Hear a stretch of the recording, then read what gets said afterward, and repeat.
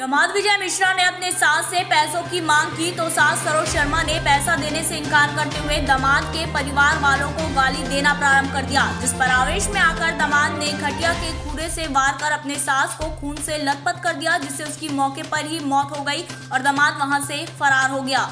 देर रात जब पति देवशरण शर्मा घर आया तो पत्नी को खून से लथपथ देख मामले की जानकारी थाने में दी और मामले पर बड़ी सफलता पाते हुए गंडई पुलिस ने महज 24 घंटे में मामले को सुलझा लिया।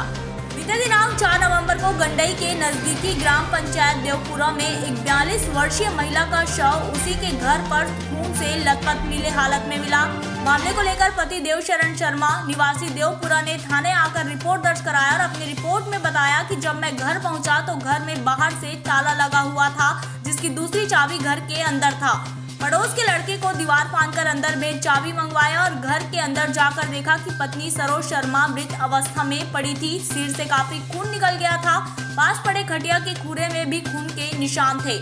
मामले पर गंडई थाने में अपराध क्रमांक एक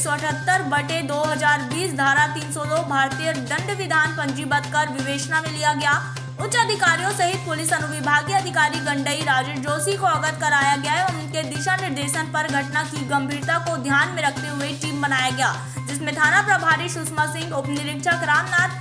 पुरश्याम उप निरीक्षक राकेश साहू, हिम्मत यादव, प्रधान आरक्षक मुस्तकीन खान आरक्षक राकेश सोनी, राजेंद्र साहू, लकेश्वर पटेल द्वारा त्वरित कार्रवाई करते हुए मृतका के आस पड़ोस से पूछताछ किया गया, जिस पर पता चला कि घटना दिनांक को शाम उसके घर के बाहर उसके दामाद विजय मिश्रा को बाइक में देखा गया था।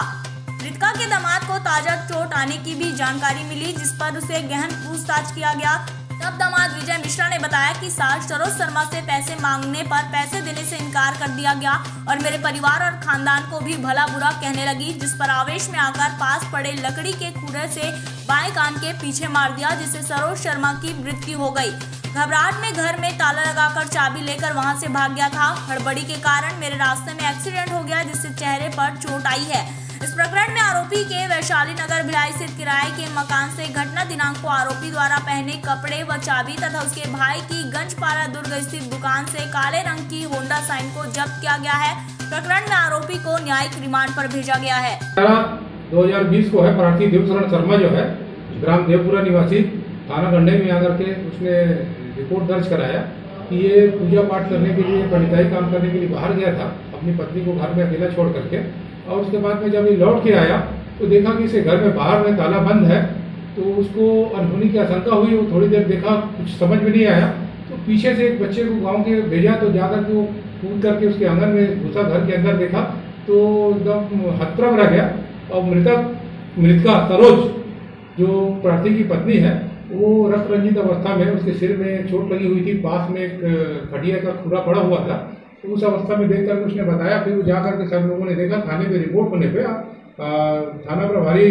द्वारा त्वरित कार्रवाई की, की गई। सुषमा सिंह जो स्वयं महिला थाना प्रभारी है उन्हें 24 घंटे के अंदर करने की उत्थी को सुलझाने के लिए अपने पूरे दल बल के साथ में गाँव में कैंप किया और वहाँ जाने के बाद में उसको एक मुखबिर से सूचना मिली कि यहाँ पे उसी घटना दिनांक को उसका दामाद जो है भिलाई में जो रहता है वो अपनी मोटरसाइकिल उसकी देखी गई है। तो उस बिंदु को डेवलप करते हुए इनने साइबर सेल की भी मदद दी और उसका सब लोकेशन को पता कि जब पूरा कंफर्म हो गया तो उसको उठाया तो थोड़ी देर तो वो नानकपुर करता रहा। बाद में वो अपना गुनाह को कबूल किया और इसमें